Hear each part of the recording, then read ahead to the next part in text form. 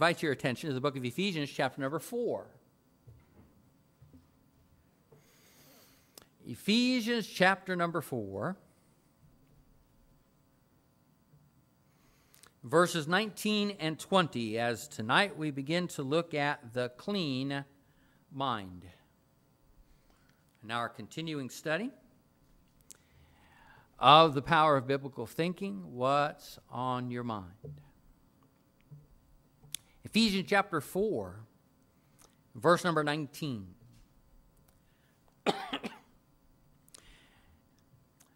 who being past who being past feeling have given themselves over unto lasciviousness to work all uncleanness with greediness. But ye have not so learned Christ. We thank you, Father, again for your word and pray now, Lord, that you will work and bless in the message tonight. We pray you'll speak to our hearts. Help us, Lord, with our thoughts, that our thoughts would become pleasing unto you, so that our actions and our lives could become pleasing unto you as well. We pray now, Father, these things in the name of our Savior Jesus Christ. Amen.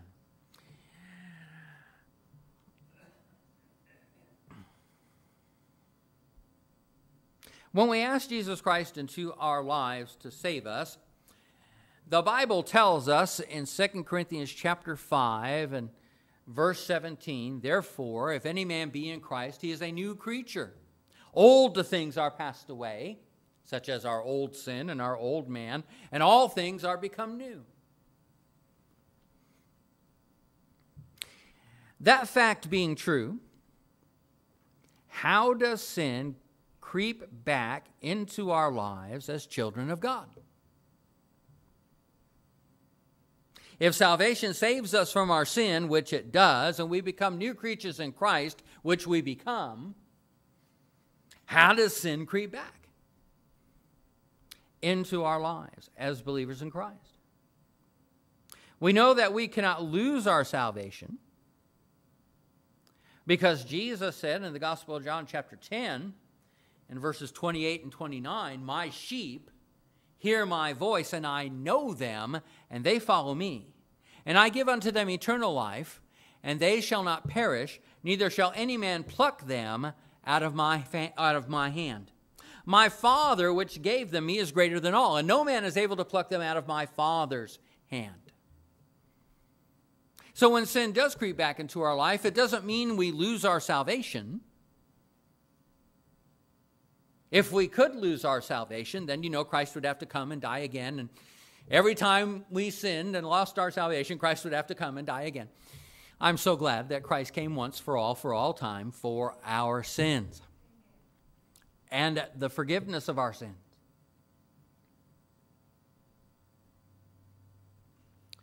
So, even though we may fall into sin, the Bible says that we cannot lose our salvation. But we still have the problem of sin to deal with. Here in our text in Ephesians, chapter 4, verses 19 and 20, these verses give us the process whereby we allow sin into our minds and how we can combat it. Many a mother, after giving their sons a bath, have said, Now stay clean Mom wants them to be clean for church or some other important function. It may be picture day at school, you know, and you, you dress up the kids so that they look their best for picture day at school. And then they get to school, and what happens? The white shirt is not white anymore. Because boys being boys, and dirt having a way of presenting itself. Well, we know what usually happens when boys are boys and dirt presents itself. The boys are in the dirt. And they get themselves dirty. And when God cleanses us from sin at salvation, He desires that we stay clean. But sin has a way of presenting itself, and that attack always begins in the mind. We see first here an insensitive conscience, there in ver- first phrase of verse number 19, who being past feeling.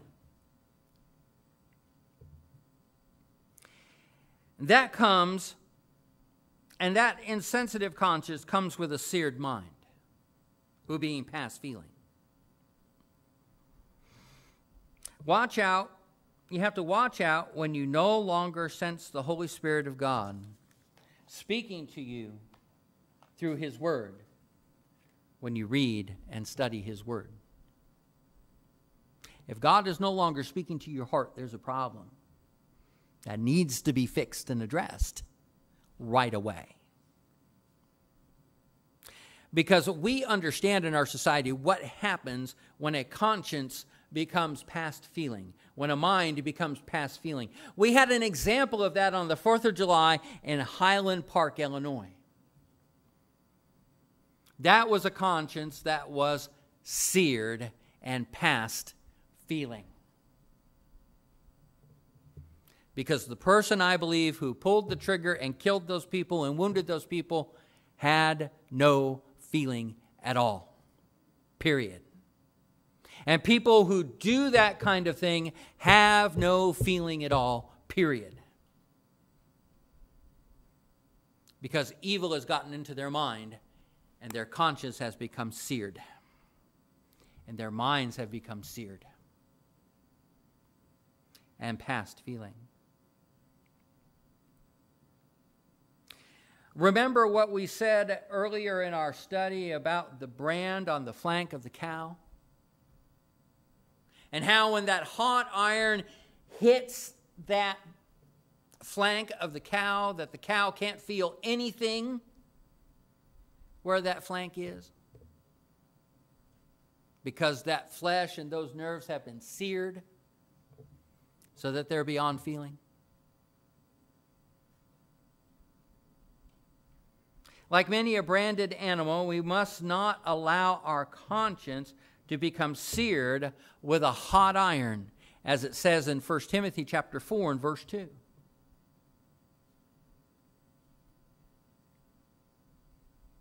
We also see a sent message by God. God has a message for us today. He's given it to us in His Word. God had a message for the nation of Israel that He sent through the prophet Jeremiah.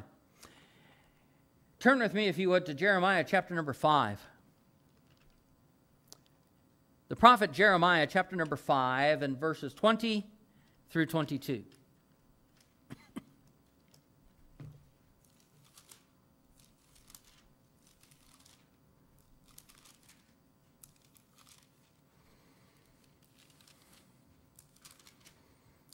there we go. Jeremiah chapter 5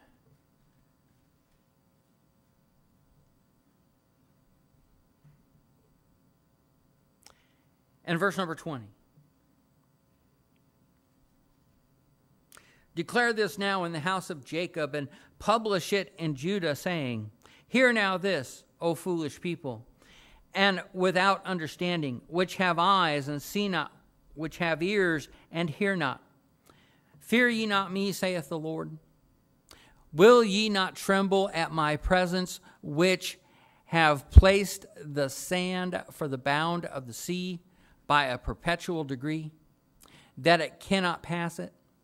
And though the waves thereof toss themselves, yet can they not prevail. Though they may roar, yet can they not pass over it. The God who sets the sand of the sea on the shoreline, even though the waves hit the shoreline all the time, there's still sand, isn't there? The God that does that. The nation of Israel was not fearing God at this time, they were worshiping idols. God was calling them back unto Him. But by the time we get over, if you would, to Jeremiah chapter number 8,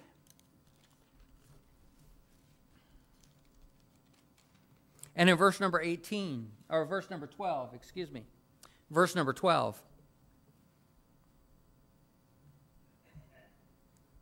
We see how far the nation of Israel has gone.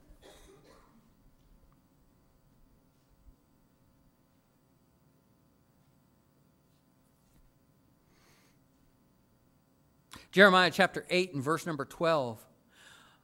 Were they ashamed when they had committed abomination? Nay, they were not at all ashamed, neither could they blush. Therefore shall they fall among them that fall. In the time of their visitation, they shall be cast down, saith the Lord. God's calling them back to Him, telling them to fear Him. But just a little while later, the sins and the abominations that the nation of Israel had been committing, they wouldn't even blush at.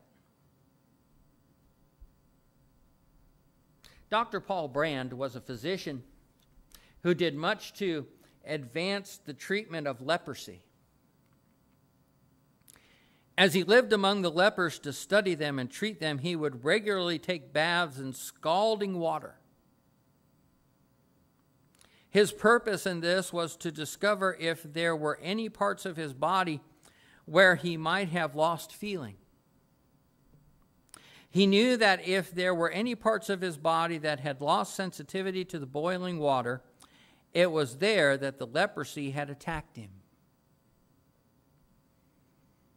This was taken from author Gordon MacDonald's A Resilient Life, published in 2004.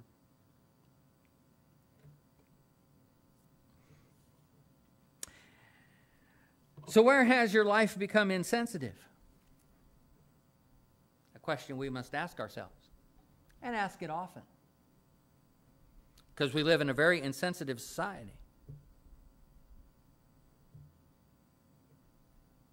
Do we still blush at a curse word or immoral scene on TV?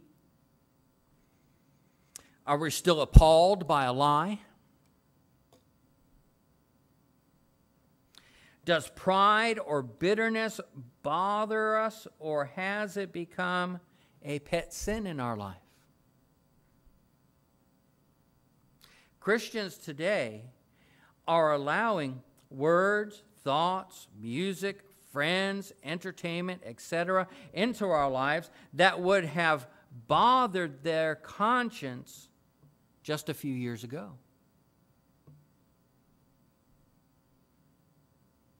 Conscience is that thing that hurts when everything else feels good.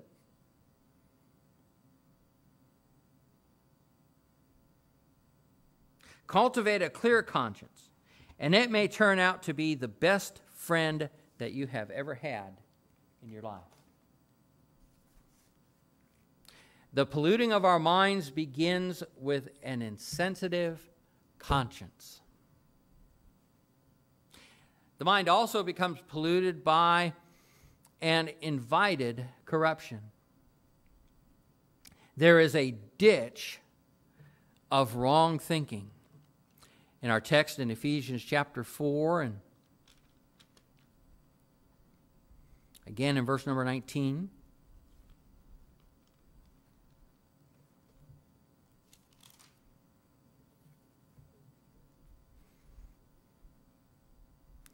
who being past feeling have given themselves over unto lasciviousness. Once the conscience is seared, it's easy to plunge forward into wrong thinking because the conscience is not there to stop you. The door into our minds has been opened a crack. And sin just thinks it's been invited in automatically. It'd be like the preacher showing up for supper on a random night that you didn't invite him to come. Hopefully, you'd be kind and gracious to him as you threw him out. But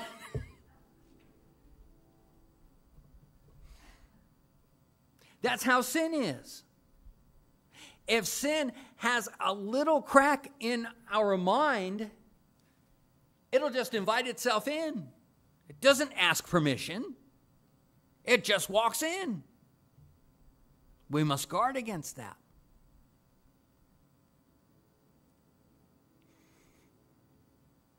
It's amazing how you can't just sin a little and then say, that's enough.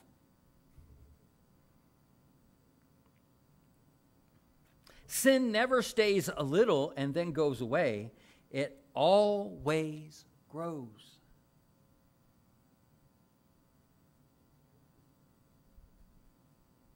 That little sin in our minds can grow until it causes our whole life to change direction.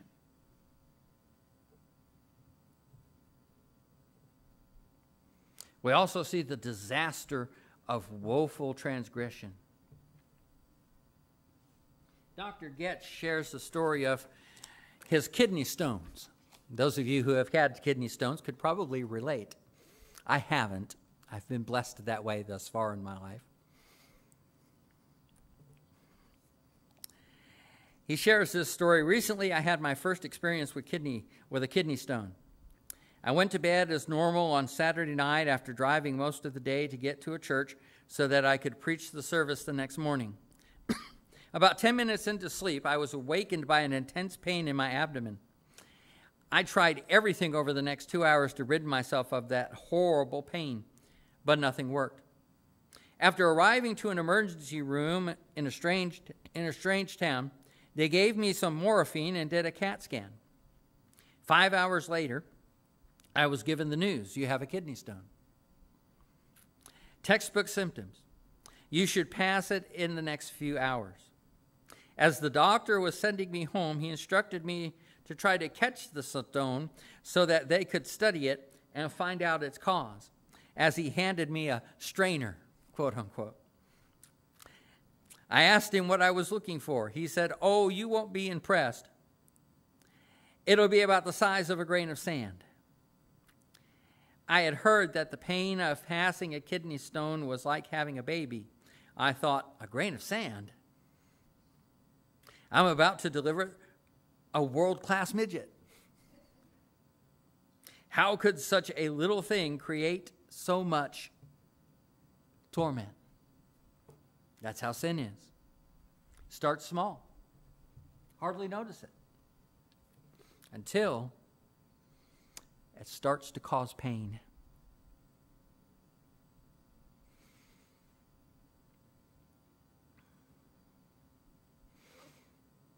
Like that grain of sand creating such an intense pain, we, when we open the door of our mind to the thoughts of sin, we are asking for big problems. It's no wonder that Paul so emphatically wrote back in the book of Romans, chapter 13 excuse me, and verse number 14. Romans 13 and verse 14.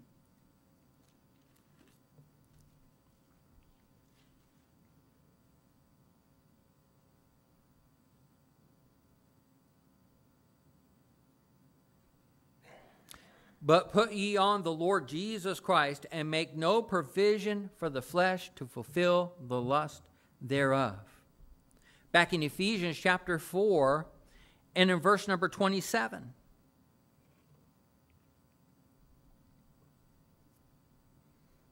The Bible says there, neither give place to the devil. Give the devil an inch, he'll take your life. Every time. Solomon also warned his son in the book of Proverbs and Proverbs chapter 1 and, and verse number 10.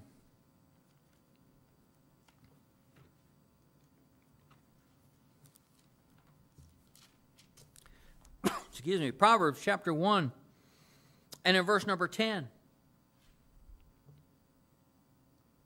He says there, My son, if sinners entice thee, consent thou not. Hey, why don't you come with me and my buddies? We're going to go out for a beer after work. No, thank you. Consent thou not.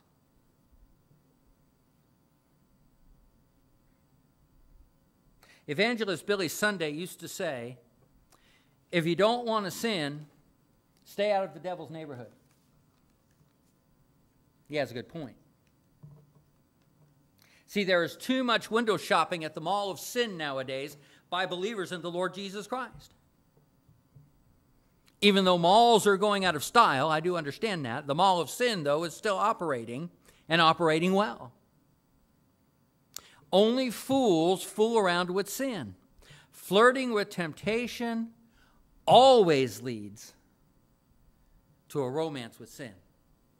And a romance with sin leads to destruction of one's life. Even the life of a Christian. The Lord the devil can't take our soul. We know Christ is our savior. We know we're going to heaven. But the devil can take everything else. He can take our reputation, he can take our testimony, he can take our marriage, he can take our finances, he can take everything else from us. And the funny thing about it is that we usually allow it ourselves. We must think about that as we go through.